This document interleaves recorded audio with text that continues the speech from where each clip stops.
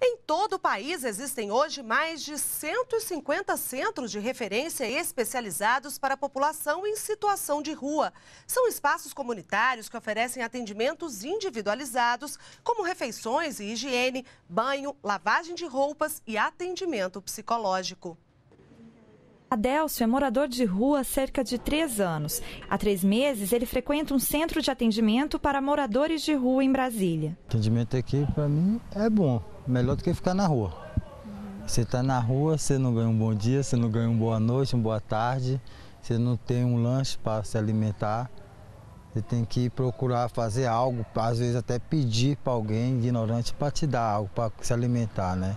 Para o lavador de carros que luta para se livrar do vício nas drogas, a rotina de atendimento e convivência no centro é uma ajuda para que ele se prepare para retomar a profissão de pedreiro e se reconcilie com a família. Agora ele se sente mais confiante. Meus pensamentos já mudaram. De não ficar mais na rua, procurar o convivo com minha família novamente.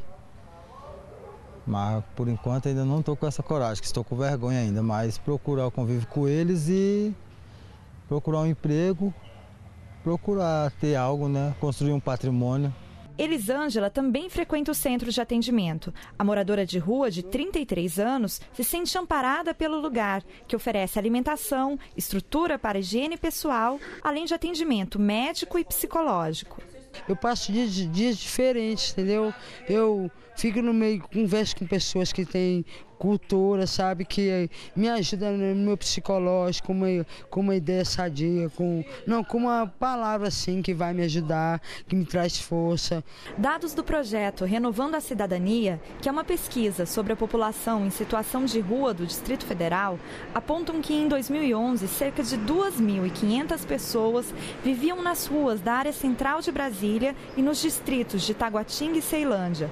Para oferecer a pessoas nessa situação uma estrutura para que possam tomar banho, se alimentar e receber atendimentos, é que foram criados os centros de referência especializados para a população em situação de rua.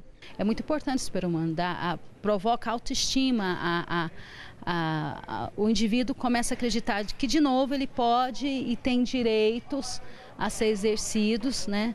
Que são, que são garantidos, né? É, na, na, na amplitude da Constituição e principalmente na, na Política Nacional de Assistência Social. A cada dia passam por este centro cerca de 80 pessoas que são moradoras de rua. Aqui elas contam com uma estrutura segura para desenvolver uma rotina saudável de convivência e inclusão social. Em todo o país, existem hoje 153 centros como esse. E a expectativa é que até 2014 um total de 350 centros estejam em funcionamento. Nós estamos trabalhando também com um levantamento nacional eh, de como são esses espaços, né, para que a gente possa eh, ter eh, uma, vamos dizer assim, uma, uma boa aparência de serviço né, e também uma boa oferta de serviço.